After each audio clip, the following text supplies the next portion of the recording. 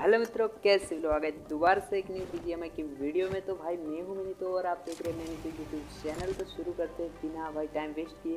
तो भाई की मतलब आपने वीडियो शुरुआत में देख लिया होगा कि अपना प्रोजेक्ट कहाँ होता है और हेडशॉट कहाँ लगता है। तो यही मैं बताने वाला हूँ।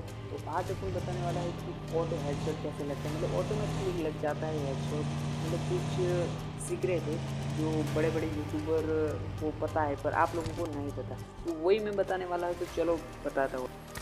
सबसे पहले तो अपन सेटिंग ओपन कर लेते हैं। सेटिंग के बाद अपन को इधर नीचे स्क्रॉल करना है, और देखो एम फ्यूचर के नीचे देखो लिखा एम आसिस्ट इसको अनलेबल करना है और नीचे आ जाना है। फिर देखो एम में जो है एम फ्यूचर इसको अनलेबल करना है और इसको मिक्स पे करके और ये रोटेशन को अनलेबल कर देना ओके अब हो गया सेटिंग आपका रेडी देखो फ्रेंड्स कहाँ लगाना है? मतलब कि आपको देखो फ़ोटो में लग रहा है, उसके बीच में जो इधर मैंने सर्कल किया है, उसमें बस आपको बंदा की हेड होनी चाहिए और फिर गोली मारो भाई। ऑटोमेटिक हेड लगेगा ओके पक्का तो जैसे मैं मारता हेड और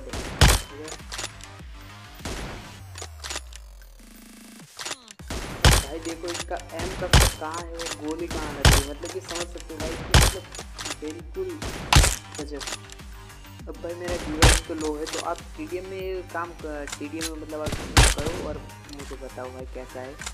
मतलब मैंने तो भाई देखा है मेरे पास अभी इसकी भाई डिवाइस थोड़ा अच्छा नहीं है, इसलिए भाई इसमें जायरो भी सपोर्ट नहीं कर रहा, बाकी मैंने इसको बहुत बार ट्राई किया, बहुत मस्त देखो, इधर जोड़ी देखो। मतलब थोड़ा एम में तो भाई पक्का हेड लगने वाला है तो भाई एक बार जाके ट्राई कर लेना।